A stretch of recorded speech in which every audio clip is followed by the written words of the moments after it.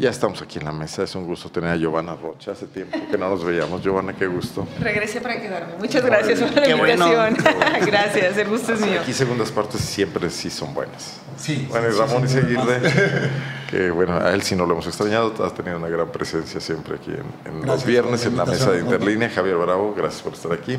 ¿Qué tal? Buenas tardes. Oigan, bueno, quiero comentar el tema de la seguridad, situar un poco el marco para, para conocer sus aportaciones, sus puntos de vista sobre esta cuestión que nos tiene todos con los pelos de punta, como además lo muestran las encuestas de, de INEGI, estas encuestas de percepción sobre la victimización, cómo se siente la gente en base a la... no a lo que le pasa, sino a lo que siente que le puede pasar, Claro. ¿no? que también es importante.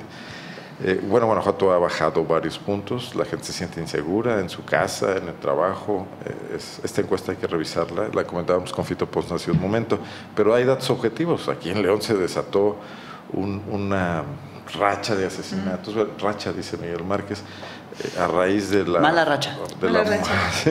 Sí, menos mal. A raíz de un atentado contra un, hoy sabemos, pues, connotado jefe de un grupo delictivo organizado, de la delincuencia organizada, que ha desatado pues como una especie de desestabilización de las fuerzas del crimen en la ciudad, cosa que ya todo el mundo ve como muy natural, que aquí, o sea, parece que es que cuando está todo tranquilo y estos delincuentes pueden realizar sus actividades normalmente, todos están tranquilos, ¿no? Pueden vender droga, no sé, robar combustible, etcétera, extorsionar a comerciantes establecidos, pero el problema es cuando se empiezan a asesinar entre ellos, es cuando las cosas se ponen así tensas.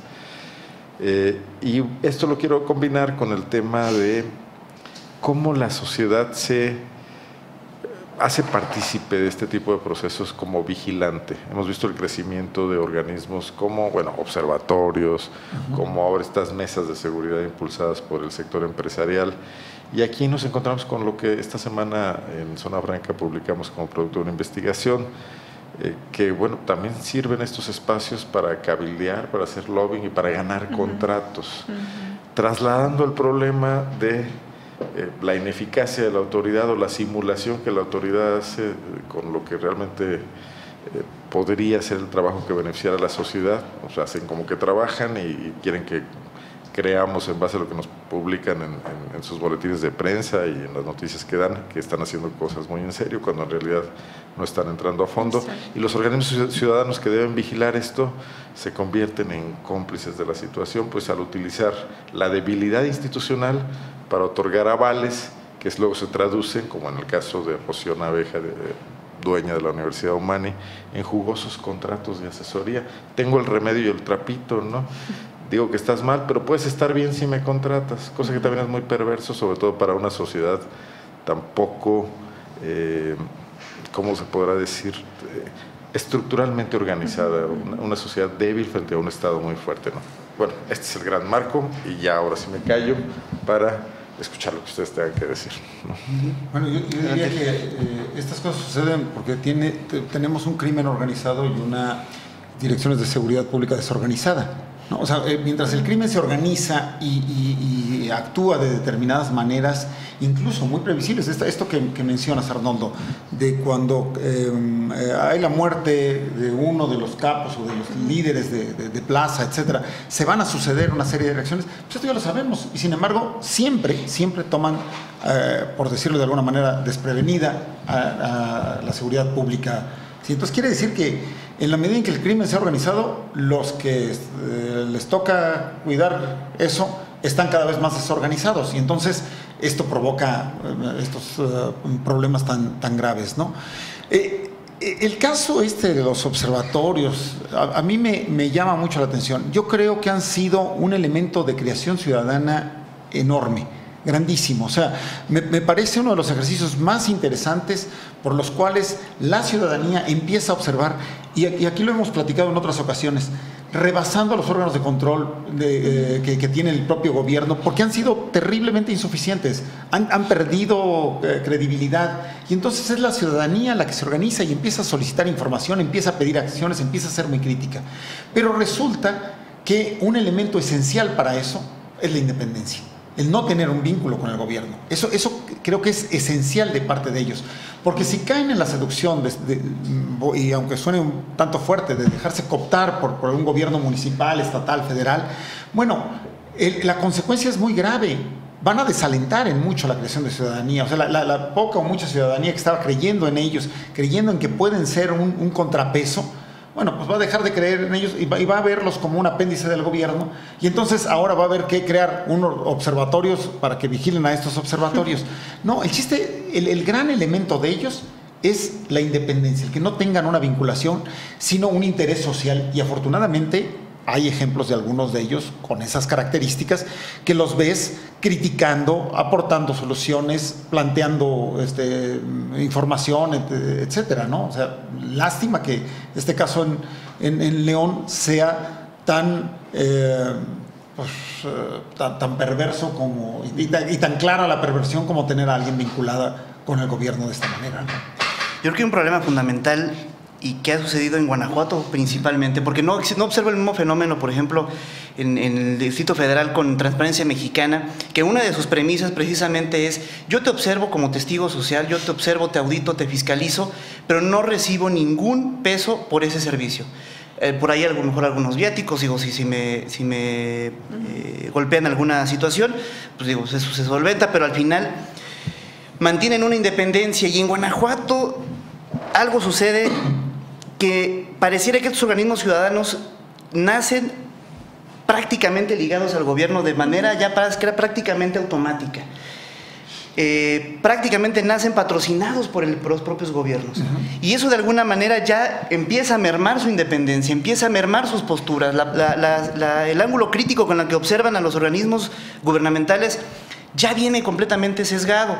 un ejemplo claro era el, propio Observatorio Ciudadano de León, que inició finalmente con, un, una partida presupuestal eh, que, corría por parte del gobierno de Ricardo Sheffield. Así es. ¿no? Y se hizo un escándalo cuando Bárbara Botello dijo, no más con este, con este observatorio, no les voy a dar ni un quinto, yo voy a crear un organismo ciudadano que vigile la corrupción. Y lo siguiente que vimos fue que la presidenta de ese comité anticorrupción estaba viajando con ella a Las Vegas. Eh, seguimos observando y resulta que la Mesa de Seguridad Ciudadana es compuesta inicialmente por un foro mixto de servidores públicos y empresarios. Y dentro de estos empresarios resulta que la presidenta era proveedora es A ver, parte de esto es la perversión, ¿no? O sea, los ciudadanos como tales creamos gobiernos pero los gobiernos no, crean este, organismos ciudadanos, es al revés, ¿no? Entonces esto de, eh, como, como menciona Javier, desde un gobierno crear un observatorio, crear un organismo vigilante. Mm, ya, desde ahí, no, ya, ya, ya, eso le sumaría. Sheffield no creo bueno, el Observatorio Ciudadano de León, lo, lo, cobijó presupuestalmente. Ahí el papel de Carlos Medina. Fue un proyecto vendido. Eh, fue un, Poca diferencia, ¿no? Sí, sí, sí, Fue un proyecto que, se le vendió al gobierno de Ricardo Sheffield. Ricardo Sheffield, en, ansias de, poder purificar su gestión desde el inicio, la aceptó la compró y desde su inicio tuvo este, bastantes este, eh, polémicas porque el, Observatorio Ciudadano no observaba finalmente toda la actuación del gobierno, eran cuestiones administrativas, vamos, lo que era vamos, lo que era lo que era mejorable de manera instantánea. Yo digo que han tenido una trayectoria más o menos solvente, pero ya te digo, mm. este, eh, con el caso de Sheffield, en el caso de Bárbara, creo que ahorita están en una transición importante. Este, este es su punto de, inflexión por la presencia de Carlos Medina como, como síndico del ayuntamiento, que es nadie puede dejar de, verlo, el gran padre del Observatorio Ciudadano de León. Este, y la presencia de Ana Coco Carpio, expresidenta del Observatorio Ciudadano de León, ahora como regidora, propuesta por el Partido Acción Nacional.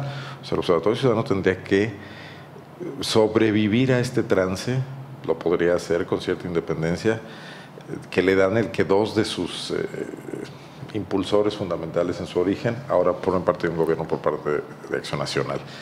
Pero el hecho de haber impulsado la mesa ciudadana y de encontrar esta, esta vinculación de Rocío Naveja, rectora de la Universidad Humani, con gobiernos panistas y periodistas, porque ahí sí no tiene, eh, parece que ah, signo aborrecido, le vende contratos a todo el mundo, monopolizando la capacitación y la consultoría en temas de seguridad, el delicadísimo tema de la seguridad. Que además se vincula con lo que observan. Sí, es una, me parece, recuperando la, especificación que hace sobre Guanajuato, ¿cuál es el concepto de ciudadano que tienen aquí nuestros gobernantes? No alcanzo a distinguir ahorita algún, alguna organización que de suyo habremos de decir, ya si yo lo creo... que sea connotado y que no delata. ¿Cuál, cuál es el concepto de ciudadano, no? Sí, que sea connotado, que no delata y entonces que esté a modo. Yo creo que, y el término ciudadano lo único que hace es legitimar este, unas figuras que son necesarias en esta latosa transparencia y en esta latosa rendición de cuentas a la que nos obliga la ley. Pero creo que hemos visto en varios ejercicios simulaciones, simulaciones que justamente al, al, estar acotada la libertad, es que no hay libertad y coincido con lo que dice Ramón. ¿De qué forma puedo intervenir, puedo observarte, puedo señalarte si no tengo la libertad y tengo un vínculo de dependencia desde el origen? Están hechos para no funcionar. Y en el caso de, esta, de temas de capacitación, yo creo que lo cuestionable aquí es que los temas de capacitación carezcan de ética. Y me refiero desde los promoventes. No es posible que haya un vínculo tan cuestionable entre proveedores, observadores, gobierno. No hay manera de ser críticos y no hay manera de transparencias y no hay manera de no hablar de un intercambio. Muy cuestionable. Yo quisiera puntualizar en un punto. Digo, se ha discutido mucho. ¿Hay o no hay conflicto de intereses? Rocío Naveja preside la mesa de seguridad a partir de este año, 2016. Le vendió contratos al gobierno de Miguel Márquez en 2015, 2014, 2013, a San Francisco del Rincón en 2015, a Silao, a León, etc. Mm, quisiera hacer a un lado ese punto y ver otro. Porque es la única universidad que está eh, dando estos cursos de eh, prevención de la drogadicción, eh, no sé, son varios. Prevención del delito en general. Prevención del delito en general. O sea, ¿cuándo se convirtió la Universidad Humani en un consultor en seguridad? O sea, ¿qué credenciales lo avalan? Ha trabajado en otras entidades que no sea Guanajuato. Tiene una experiencia previa. Es una universidad que tiene 11 años, es relativamente poco en el ámbito de la educación superior, es joven ¿Dónde se convirtió en el único experto en temas de prevención en Guanajuato para monopolizar los cursos de 10 de los municipios más importantes del Estado. Ahora que lo mencionas, pensaba también sus académicas participaron en las mesas para el tema de la alerta de género. También. Se convirtió en ese experto cuando exfuncionarios públicos o funcionarios en, activo, como Moisés Herrera, Saldaña, eh, director de prevención en León y director de prevención estatal antes, se formaron, eh, se, integraron como catedráticos. Cuando el secretario de Seguridad Álvaro Cabeza de Vaca se convirtió en un conferencista asiduo en la Universidad Humana, ¿no? Entonces es ahí donde se ve el nexo, ¿no? Porque también hay un fraude en el hecho de que me estés dando cursos por 8 millones de pesos que no están funcionando como se ven las cosas en León, que habría que evaluar en esos lugares donde se impartieron estos cursos qué pasó después, cómo se mostraron los índices, es lo que nadie nos ha dicho. ¿no? Entonces tiene que ver con el origen de cómo se otorga un contrato de estos, con base en qué se otorga, sobre todo, todo habiendo universidades o centros de educación como la propia Universidad de Guanajuato, con un campus aquí, la Ibero, el TEC, de Monterrey. Con otros este, caminos, o salir de aquí si fuera necesario. Con una presencia importante, con, con, experiencias de este tipo importantes. Pero mira, dar clases no te garantiza que seas un experto en algo. Regularmente el que es un teórico en, la, en el aula no, no es el mejor ingeniero implementador o el mejor implementador de políticas públicas. Sí, totalmente. O sea, por eso es importante ver bajo qué criterios se otorgan estos contratos, ¿no? Eh, yo ignoro si fueron adjudicaciones directas, que lo haría todavía más grave, más grave ¿no? Y si concursaron contra qué o, qué, cuál, cuál, qué criterios se valoraron. Exacto, para, lo estamos investigando porque no está claro. financieramente, como estaba el reglamento de adquisiciones en su momento, este, los contratos que le dieron a, la Universidad de Humani podrían pasar bien por la adjudicación directa. ¿Por los montos? Por los montos. Porque en ese momento el reglamento todavía permitía montos superiores al millón. Entonces habría que revisar ahí cómo, cómo se realizó. Ya dice que, hay, que hubo convocatorias. Es lo que estamos revisando. Porque esas convocatorias todavía. No se exhibieron. digo, pues hasta donde no recuerdo. No, digo, serían, serían contratos que en suma, pues estamos hablando ya, este, pues ya superior a los. Eh, la información que tenemos hasta el momento es de 28 millones más o menos. Este, se convierte en un gran negocio, en una industria. si sumamos, ¿Y una es una filial? Si sumamos todos los contratos que han recibido dentro del gobierno del estado y los municipios. En, León, por ejemplo, se hicieron cinco cursos, tres corrieron a cargo del, del, gobierno del estado. Ella nos apuntaba que eran cuatro, en realidad son tres y dos fueron por parte del municipio. Entonces, ahí este tipo de relaciones son las que dices, bueno, eh, vamos, ¿dónde, ¿dónde cabe finalmente la legitimidad de opinión que pudiera tener? o la legitimidad de las opiniones que se vierten sobre la seguridad. Incluso la legalidad de opiniones. Claro, ¿eh? además soy, el, observatorio de lo que voy a capacitarte, ¿sí? Y luego voy a observarte, ¿sí? Pues y, entonces voy a, voy a validar todo esto. Yo creo que eh, he visto varias notas sacadas por, Zona Franca en donde algunos actores mencionan la no existencia de este conflicto de intereses. Bueno, perdón, pero es una ceguera terrible, ¿no? el, conflicto de intereses es clarísimo, bastante evidente.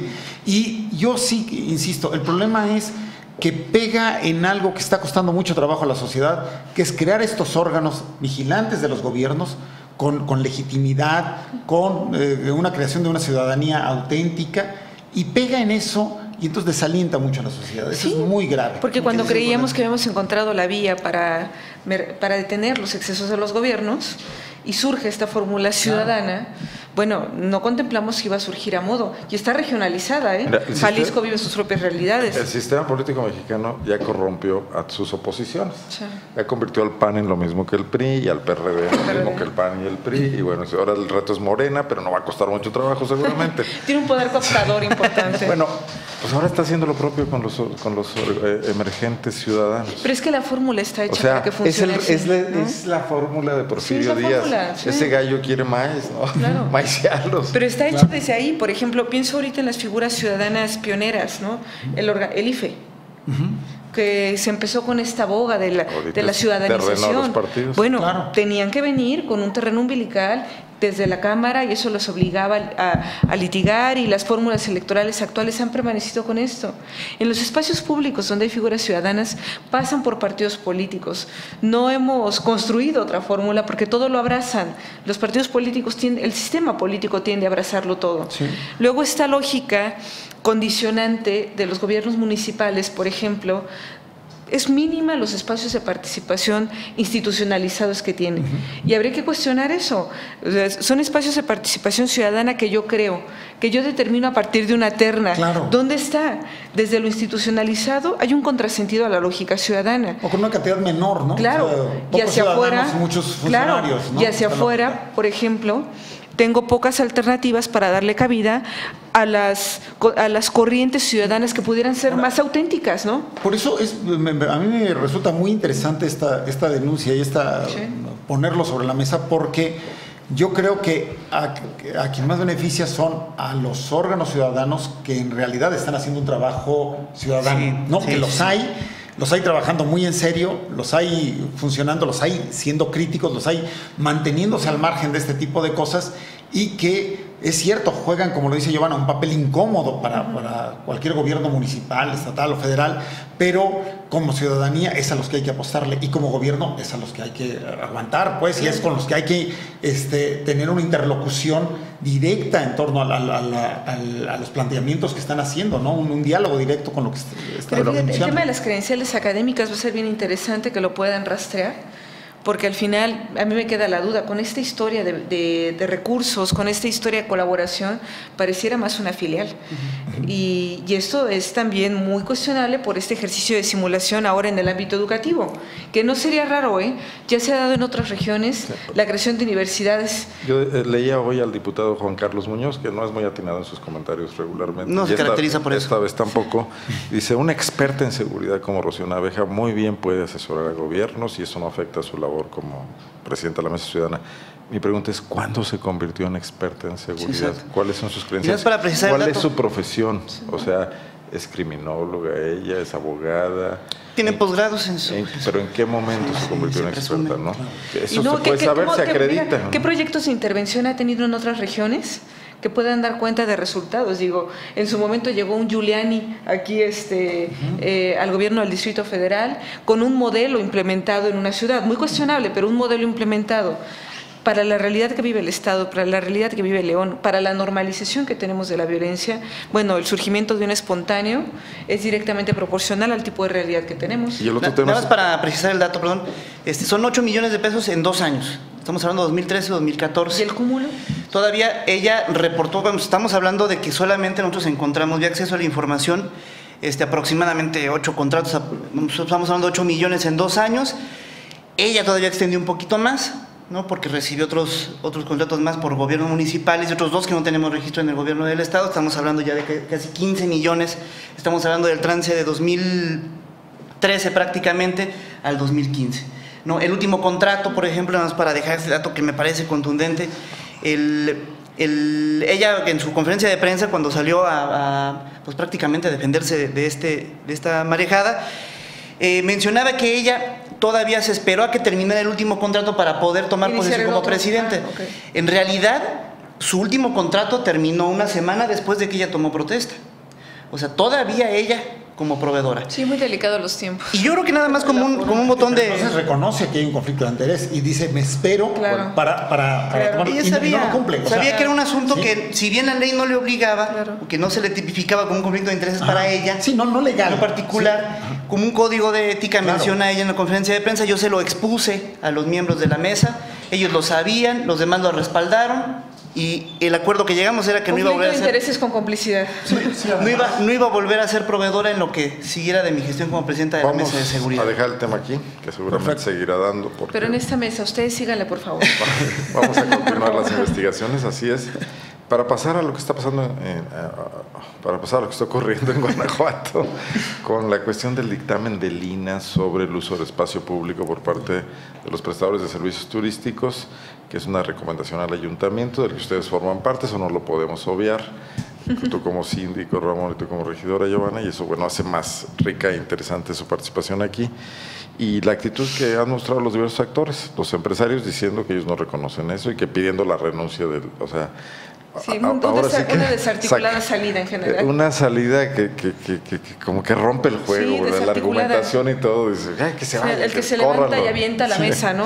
Cuando no va bien. Y la del alcalde que dice que, pues, que no es la última palabra, eh, lo que dijo Elina.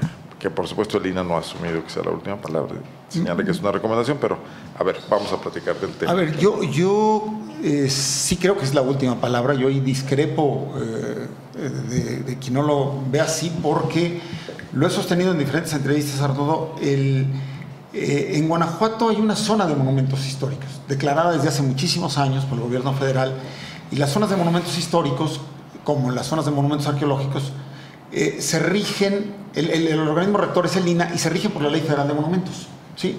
Eh, yo les ponía el caso a varios de mis compañeros y a los compañeros de la prensa de eh, aquí en León, por ejemplo, pues, todo el mundo ubica las mesas y las sillas que hay en, la plaza principal de un, aquel Hotel Condesa que hubo hace muchísimo, que ahora es otro, otro giro, el Italian Coffee que está ahí al frente también. Sigue siendo hotel, también tiene espacio en la vía pública. Este, y pero no está dentro de una zona de monumentos. O sea, autorizar eso seguramente le tocó al ayuntamiento o a alguna entidad del propio gobierno municipal. ¿Qué hace que en Guanajuato sea diferente?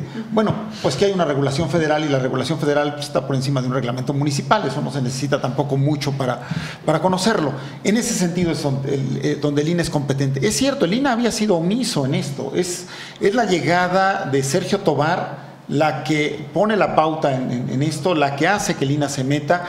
Y, hay que reconocer, hay un trabajo muy exhaustivo, muy a detalle. Yo sí he visto los dictámenes, yo sí los, los conozco, y por eso me llama más la atención que la descalificación sea el dictaminador y no el dictamen. ¿No? O sea, eh, descalifican a Sergio Tobar y al, equipo que trabajó esto en, la delegación de Lina y no, y no al, dictamen mismo. Que, es hecho por técnicos, no por. Hecho por, técnicos, Arnoldo, donde lo que se analiza son, eh, si no me equivoco, 14 criterios eh, generales y luego se va a la casuística de 21 asuntos en esta primera etapa eh, eh, y elementos tan importantes como, por ejemplo, bueno, pues que las sombrillas, que, no haya toldos, que sea por sombrillas, que las sombrillas no generen un gran, no haya esta gran sombrilla como a veces se ha puesto en Guanajuato, sino sean sombrillas que produzcan una sombra de no más de dos metros cuadrados, que no se use el mobiliario urbano, que estén separados a, cierta distancia del mobiliario urbano, del, arbolado urbano, este, que, que no invada banquetas, que no prepare alimentos en la vía pública, cosa que nuestro reglamento ya preveía y el propio ayuntamiento ha pasado por encima del, reglamento, no este, pero sí, ayuntamientos anteriores.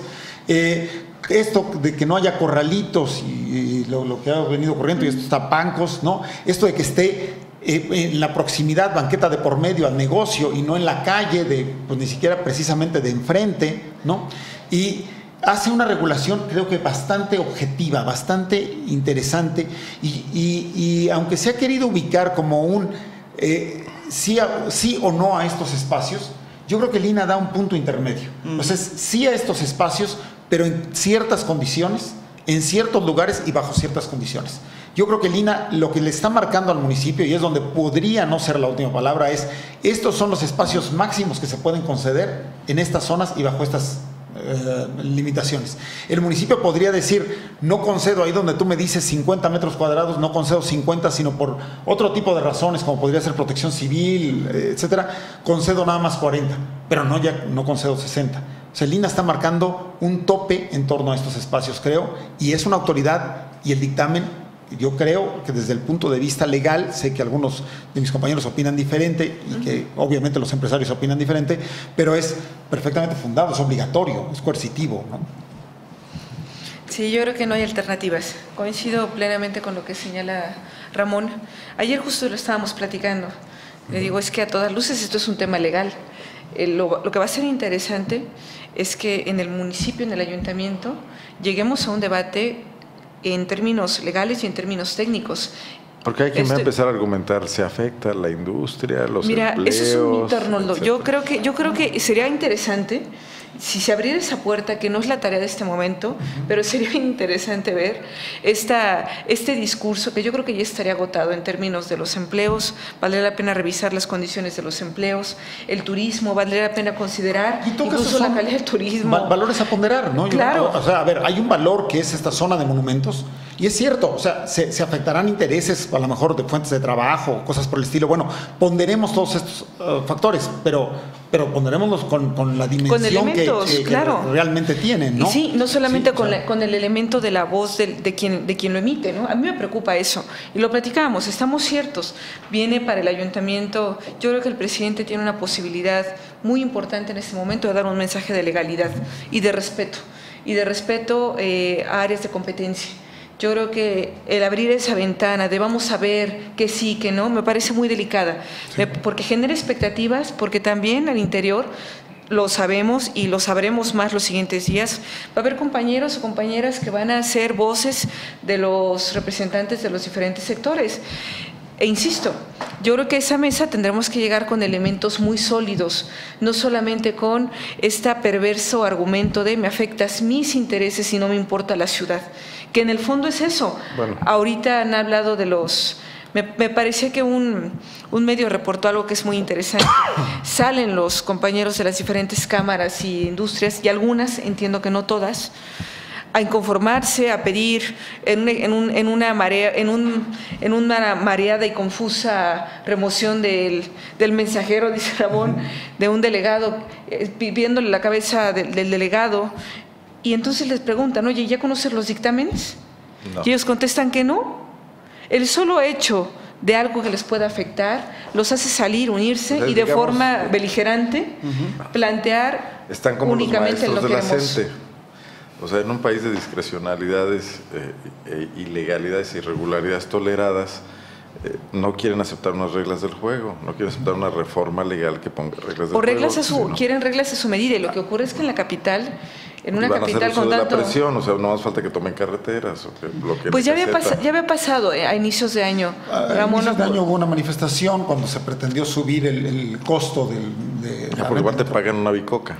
Pagan, el, el, número redondo, si mal no recuerdo, redondo deben estar pagando 350, eh, tal vez poquito más, 350 eh, pesos metro cuadrado por mes en la zona más cara, porque hay tres zonas, que es la zona del Jardín de la Unión. En, un metro cuadrado cabe una mesa para cuatro personas.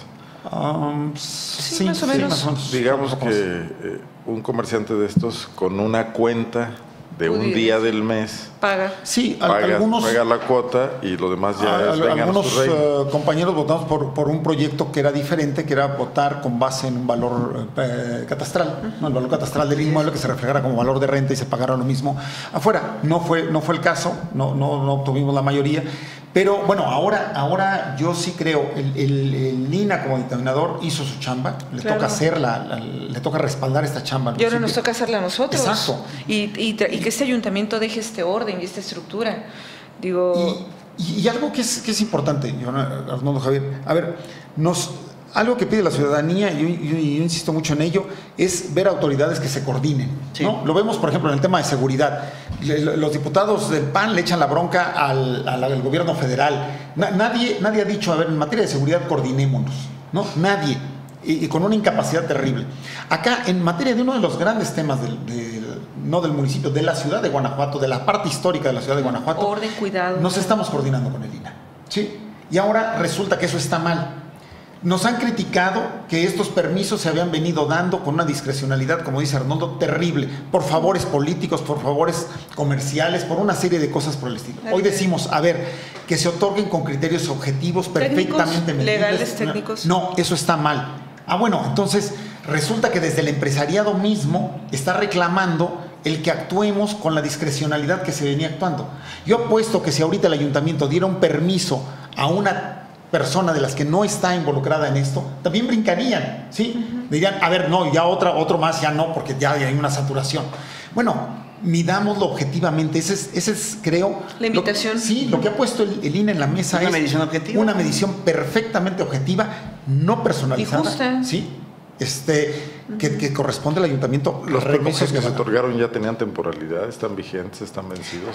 Eh, están vencidos, vencieron en diciembre, en 31 de diciembre del año pasado. En, eh, este año no se ha otorgado ningún permiso, precisamente con este proceso de regularización, que como verán, pues, ha sido bastante lento. Eh, corresponderá, a partir de la decisión que toma el ayuntamiento, expedir los nuevos permisos. Y yo sí espero que en congruencia jurídica se, eh, se, expidan con base en, el dictamen, el dictamen de, de, Lina, ¿no? O sea, esto es lo que se te permite y, bueno, ya se determinó un costo por metro cuadrado por, por, ley de ingresos para todo 2016, pero se acordó con ellos también de que se había de, de, revisar. También hay que recordar que algunas de las cámaras, cuando surgió toda esta polémica, se manifestaron también públicamente diciendo que respaldarían estos lineamientos, ¿no? O sea, que estarían de acuerdo, como una eh, eh, pues no sé si reciprocidad después de que una parte del ayuntamiento, bueno, finalmente el ayuntamiento había votado no aumentar en la proporción que se quería, sino aumentar solo el 4%, dijeron, bueno, y vamos a estar de acuerdo con los lineamientos que fijen. Bueno, ya llegó el punto de fijarlos y yo también espero que se pondere más el interés de la ciudad que el interés de 21 o 31, ahorita son 21, de, 21, de 21 comercios. Creo que el interés de la ciudad... Jurídicamente, si el ayuntamiento mm, no respalda la postura del, INE, ¿qué puede ocurrir? Yo creo que habría el riesgo incluso, Arnoldo, de cometer un desacato y una instrucción de, una autoridad competente a nivel federal de actuar de esa manera en una zona de monumentos en la que tenemos que ir juntos. Si Los ciudadanos pueden actuar, alguien puede presentar algún tipo de, querella recurso. recurso. Pues mira, sí, sería bien interesante. Yo creo que en, términos de una, juzgo subjetivamente a partir de lo que he visto en redes nada más, en términos de una gran mayoría, la sociedad creo que sí está por esta regulación, por, alguna regulación, pues, ¿no? Eh, eh, en torno de ello. Y eh, ojalá permeara esto más a la sociedad, conociera los dictámenes, opinaran sobre los dictámenes y bueno, pues se ejercieran incluso las demandas correspondientes, no solo de los, de los prestadores de servicios que quieran inconformarse, sino de la ciudadanía recuperando en buena medida estos espacios. ¿no? Yo creo que es un litigio que, que, nos conviene a toda la, la, sociedad guanajuatense y que conviene incluso al visitante de Guanajuato.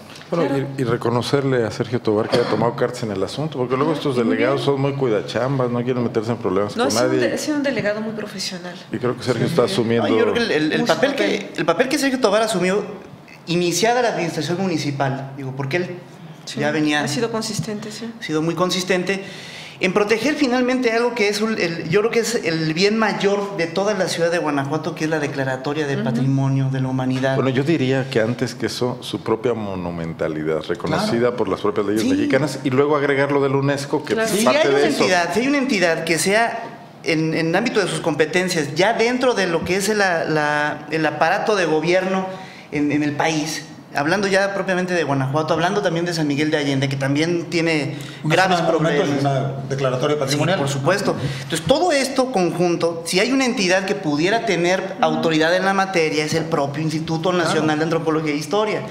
Entonces, es, reconocer finalmente las instituciones que tienes en este momento trabajando, que han hecho este trabajo y este dictamen, que además se ha adecuado, Ramón, en el lugar en el que están ubicados. Tú me decías, tú decías, por ejemplo, no, eh, no es una cuestión restrictiva completamente, no es no o sí. Exacto. Aunque a algunos les toque que no, completamente. Hay casos en los que no. no El caso del Café Galería. Y el caso del Café Galería, yo creo que es un ejemplo clarísimo que nos ilustra perfectamente cuál es esa. Eh, diría yo, ese, ese, ese monstruo esa creado relación conveniente, Esa, relación, conveniente, que hay. Ciudadano y gobierno. Ciudadanos y gobierno. Diría, yo veía la nota de, de, su compañero Alfonso Ochoa con el pronunciamiento de, de, los empresarios y decía, bueno, este es el empoderamiento de la ciudadanía, pero completamente perverso porque es finalmente un empoderamiento. y, ahí más que como ciudadanos actúan como representantes de un interés. Exactamente, la palabra ciudadano está muy prostituida. ¿eh? Exactamente. Digo, sí lo son, pero ahí no actúan como ciudadanos porque no están hablando a nombre de los demás. Están hablando de su propio interés. Claro, no están todos, no están todas. y que se fue acumulando y acumulando, y ese empoderamiento se fue acumulando a través de los años de instituciones que o eran negligentes Omisas. Omisas y en algunos momentos corruptas. Así es. ¿no?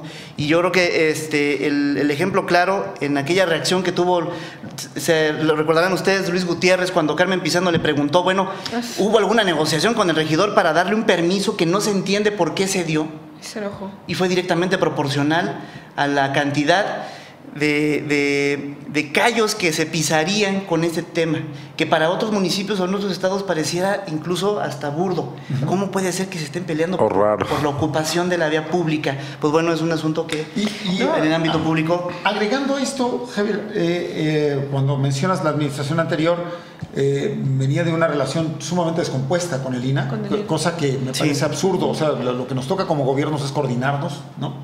Eh, la, actual administración ha establecido una coordinación estrecha con, el INA y este ha sido uno de los grandes temas. ¿sí? El otro tema han sido las suspensiones de algunas obras, el paro de algunas obras, como Casa Colorada, por ejemplo, y, permisos que se dieron de manera, y hay que decirlo, perdón, con toda la autocrítica que tiene el gobierno, con, de una manera por demás extraña, ¿no? en donde la coordinación con el INA nos ha permitido detener este deterioro. Sí, yo creo que eso es, eso es clave. Para, que, este apenas a tiempo, porque Guanajuato está eh, a punto de ser hecho pedazos eh, y, de, pasar a ser una ciudad donde los monumentos se vean ahogados por la incuria y el crecimiento desordenado. Sí, la verdad, por, eso yo insistiría. Es, un punto de inflexión crítico. Este momento, este ayuntamiento tiene una posibilidad muy importante de dar un mensaje contundente, de lograr ser muy claros, pero también muy firmes si fuera necesario. Digo, ahorita me viene a la cabeza a inicios de enero, justamente, finales del año, cuando se estaba discutiendo en la sesión eh, el tema de la posibilidad de la alza, llegaron algunos representantes restauranteros, llegaron en una posición de exigir, exigir, exigir, finalmente se cedió, había una pretensión de vamos a esperar, vamos a esperar que otra información pueden darnos que sea más justa. A mí me preocupa que se esté buscando información a modo más técnica y más legal, no hay otra instancia competente para darla. Y la autoridad también está obligada a ser firme, muy, muy firme, o también asumir el costo de dar el mensaje de estoy con estos ciudadanos, que son 21 o 22 o 24 o 26, porque la realidad es que en Guanajuato necesitamos nuestros espacios. Ya no hay espacios para los eh, hablando de los ciudadanos, que, este, que en este abstracto, insisto que es un término muy prostituido, pero la realidad es que no hay espacios. la ciudad debe ser acogedora con el turismo, pero no sacrificarse por el turismo. Se pueden conciliar los intereses. Para, para, hay un colapso. Los cuatro lo conocemos, pero para el auditorio que, que conoce Guanajuato y el que no, Guanajuato es una ciudad de plazas chicas el, jardín central, el jardín de la Unión. Es que esa es, la parte importante. Chiquito, sí. Eh, eh, es cierto, en mucho, este tipo de comercios los ves en, plazas de todo el mundo. Sí, es cierto. Y los ves eh, en una, o se trata de verlos en una proporcionalidad acorde también a la plaza. ¿Por qué restringir los espacios? Porque, de veras, el jardín de la Unión es muy chiquito. No, da, no da, no da. Es de San Fernando, ¿sí? Y bueno, obviamente hay una... y, en lugares donde ves mesas en la calle hay reglas estrictas claro. para Exacto. Lo que ocurre es que nada más comparamos el contexto desde lo que se ve, ¿no?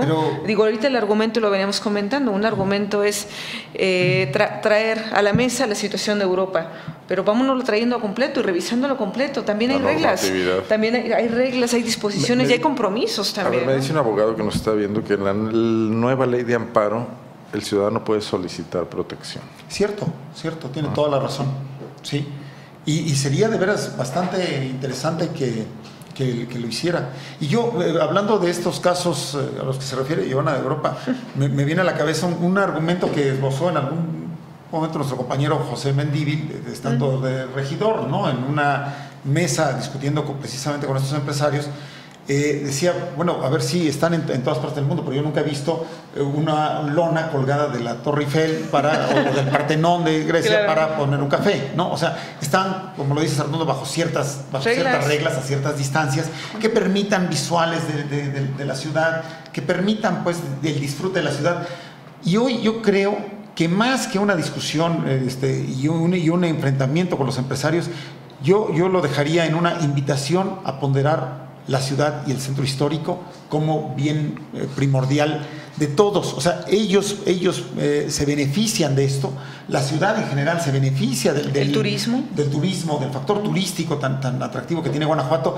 Bueno, normémoslo claramente por beneficio del turista, por beneficio de ellos mismos, por beneficio Y por los que vienen, porque también, ¿qué pasará cuando se quieran integrar otros?